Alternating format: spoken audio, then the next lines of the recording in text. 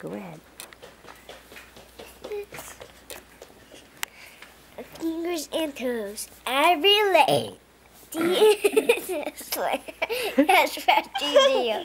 Above each hand, five and twenty. On hands and feet.